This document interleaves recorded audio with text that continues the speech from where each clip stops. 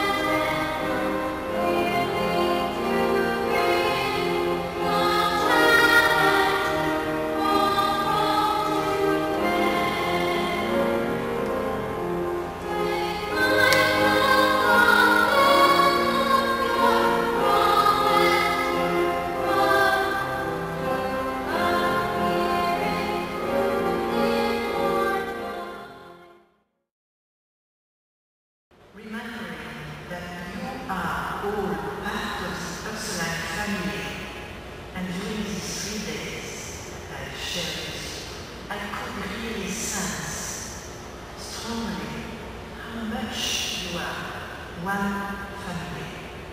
You are living from the spirit of friendship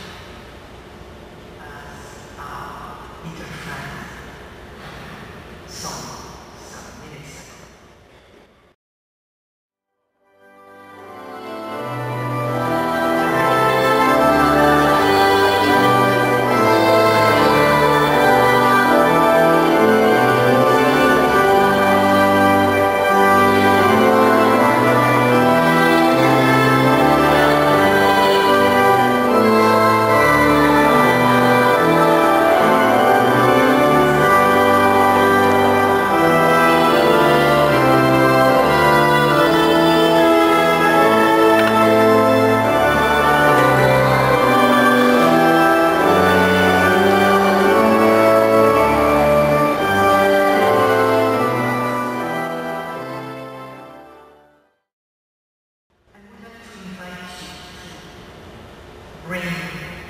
your contribution to this call of the Ursulines all around the world. Let us make all efforts humbly to bring peace in the world with more justice